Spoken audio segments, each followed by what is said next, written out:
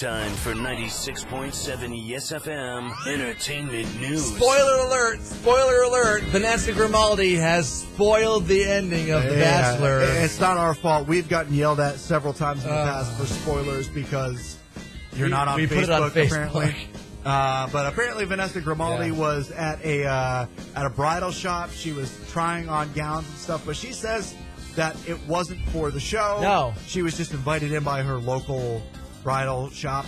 yeah, I Um, figured I had like- nothing to do on a Sunday but try on wedding dresses Well, it's just like because. a pro- you know, it's like maybe a future business venture. right. But she's allegedly um, going to be the winner. So there you go. Well, we know that it's And then we know that he's going to propose. yeah. So There you go. I don't know. Spoiled. Sorry. spoiled.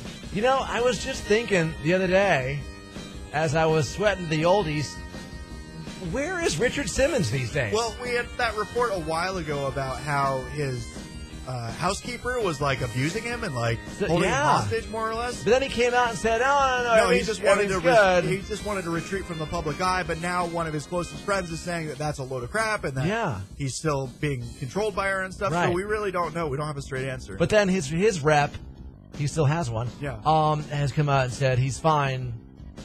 He's not being held hostage Right. in his own home by his housekeeper, Right. who I think is employed by him, which is weird. It's- Although Richard's a weird dude anyway. just a bizarre story. So yeah, yeah. Richard Simmons continues to sweat to the oldies in a bizarre setting. I guess. I don't know. I hope he's okay. I do. I really do. He'll be fine. He's fine.